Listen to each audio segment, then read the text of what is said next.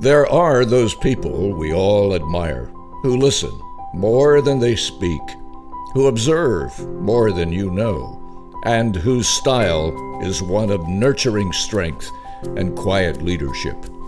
Joan Zig Steinbrenner is one of those people. Her gentle hand has guided the organizations and efforts in which she has been involved to do important work for the welfare of children. As a young mother herself, her volunteer work with children began in Cleveland and led to being the Florida State Chairman for the Special Olympics and a board member of the Children's Home, just to name a few. Still today, in her role of Vice Chairman of the New York Yankees, she continues a 28 year tradition of providing holiday concert experiences for at risk youth. An early friendship between Joan and St. Joseph's Hospital's own Sister Marie Celeste led to her service on the board and planted the seeds of a relationship that have impacted children's health care in Tampa forever.